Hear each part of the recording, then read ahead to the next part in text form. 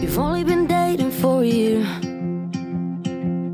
But I'm gonna take a risk and sound a little weird.